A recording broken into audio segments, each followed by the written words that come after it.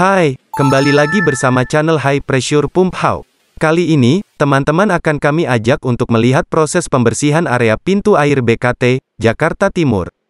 Pada proyek kali ini, kami menggunakan unit W25018 PPT, unit berpenggerak petrol atau bensin engine.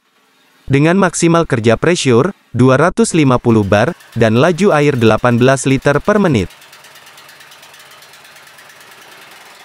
Unit ini mampu digunakan sebagai alat cleaning area kerja, equipment industri, cleaning double cabin tambang, pekerjaan hydrotest dan lain-lain.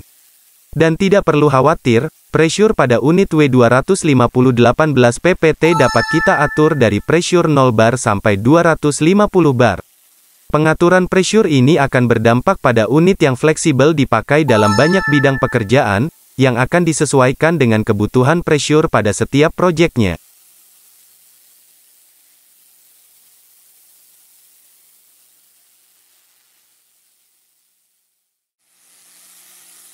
Dan satu lagi, pada unit project kali ini, kami memberikan nozzle tambahan, yaitu rotating nozzle UR60. Nozzle rotating digunakan sebagai media optimalisasi pembersihan area.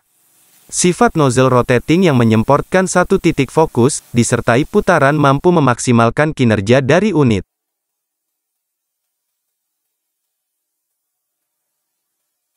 Untuk itu, kita bisa saksikan bersama, area kerja yang dipenuhi lumut tebal, dengan mudahnya hilang dengan unit ini.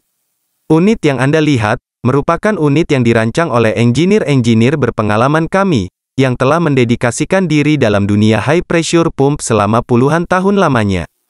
Kami juga memiliki teknisi-teknisi yang sangat berpengalaman, yang siap dikirim ke area proyek Anda untuk melakukan kegiatan demo produk dan commissioning high pressure pump house.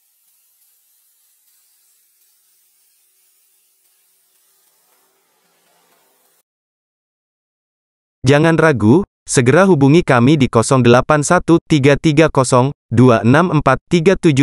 untuk mendapatkan update stok dan produk terbaru dari Hawk. High Pressure Pump, ya Hawk saja. Mohon izin pamit, saya, Gesang Ramadan, Sales Marketing PT Solusi Jaya, distributor resmi pompa Hawk Itali, di Indonesia.